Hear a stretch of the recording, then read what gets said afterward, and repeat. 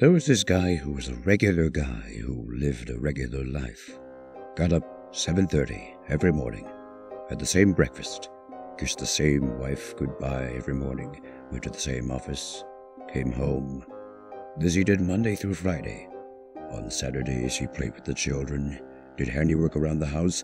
Sundays he took the family out on the station wagon to the suburbs and there they looked at the houses, the trees, the billboards, the gasoline stations, and the railroad crossings. His life might have gone on like this forever, except one night something strange happened to him. You see, he went to bed at 10.30, and some of his friends stayed up later. And one of them, closing up a place that closed at 2 o'clock in the morning, decided to call this regular liver and said, What time is it? on the telephone. Well, he woke up and he said, Who is this? Who is this? It's two o'clock in the morning. It's no time to call. Bye.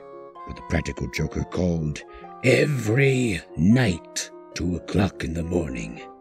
He did this for two weeks. Friend, could you hold? He said, Who is it? Stop. Finally, after two weeks, the practical joker lost interest in the joke and did stop.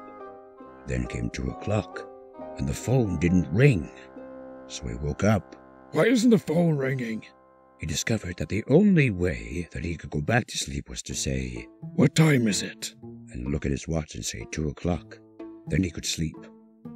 He did this for a couple of nights until he began to think. It's two o'clock where I am. What time is it in New York? We're in Hollywood. We're in London. We're in Hong Kong. In Cairo. He didn't know. So the next day he went out and he bought himself some clocks. He got clocks from all over, and he put them all over the walls, and the time was there. He knew what time it was everywhere that counted. And this made him feel comfortable. He became so interested in time, they got little egg timers and gave him away as presents. He read about time, and in books, sidereal time, time way out in the universe, he knew what time it was in Arcturus and the Pleiades and the Milky Way. One night, though, at two o'clock in the morning, the light wouldn't go on. The fuse had blown. But suddenly he realized he knew what time it was without even looking. Not only in the important cities of this world, but in the entire universe. And naturally he began to brag a little the next day. He told people, I know what time it is. and they tested him, and he did know. The administration had changed at this particular time, and they wanted to save money.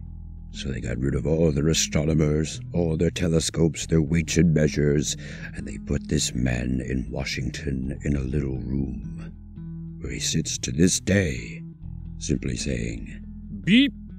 The time now is